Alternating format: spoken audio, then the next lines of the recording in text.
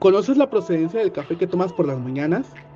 Al momento de consumir esta bebida, es importante el conocer el origen de esta semilla que se tuesta para poder realizarla.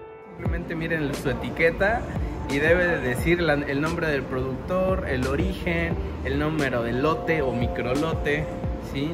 quién lo tostó, la fecha del tueste, la variedad y el proceso, ¿no? Si no tiene eso ya de cajón, no tomen ese café y por favor, nada de café del súper, porque pues obviamente no sabemos cuánto tiempo lleva ahí ese café, no sabemos qué, eh, cuándo se tostó, cuándo se molió. Entonces son cafés que yo no recomiendo para nada y este, siempre tratar de consumir el café de, las, eh, de los expendios locales. El estado de Chiapas es uno de los principales productores de café. Mediante talleres, se está acercando y dando a conocer a la ciudadanía el cómo distinguir un café sano e ideal para el consumo humano. Hoy tenemos el taller de cata, que es el segundo taller que nosotros, eh, de los siete talleres, es el segundo que nosotros impartimos. Sí, es importante que si gustan eh, aprender más sobre este mundo, si se interesan un poco más en este... Eh, en esta onda del café, si se quieren introducir más, pues bien importante también que los vayan tomando todos, porque como les decimos siempre, todo el conocimiento que se va adquiriendo de taller a taller, pues es acumulativo. El café es una de las bebidas preferidas y consumidas por las y los chiapanecos, por lo que es importante el conocer un poco más de ello y su sano consumo.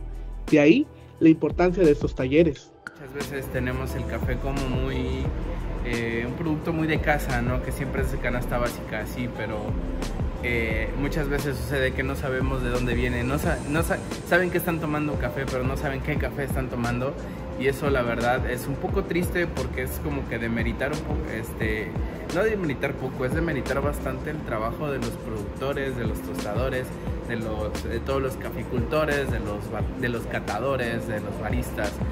Entonces siempre se trata de que seamos conscientes de que Detrás de Catas existe una gran cadena comercial que nosotros no estamos viendo. En octubre se conmemora el Día Internacional del Café, por lo que nuestro estado, el Museo del Café de Chiapas, ubicado en Tuxtla Gutiérrez, ofrece durante este mes y el año talleres para adquirir estos y otros conocimientos. El objetivo pues es justamente visibilizar todo el trabajo y esfuerzo que hay desde los productores hasta los profesionales del, del, café. Y el Museo del Café pues justamente se suma a esta conmemoración y a través de diferentes actividades pues se han planeado varias estrategias para seguir fortaleciendo el tema de la cultura del café, principalmente el consumo local, a través de diferentes actividades artísticas y culturales en, el museo. Desde talleres de barismo que se tienen, el recorrido en las salas, eh, vamos a tener próximamente conversatorios con profesionales del café, vamos a tener talleres dirigidos para niños, y por supuesto el tema de los eh, eventos artísticos. Claro, que nos visiten en el Museo del Café, que se den la oportunidad de poder conocer este espacio, un, espacio que está justamente en el corazón de la ciudad de Tuxtla Gutiérrez, pero pues que además está muy accesible y donde pues van a conocer muchísimas actividades.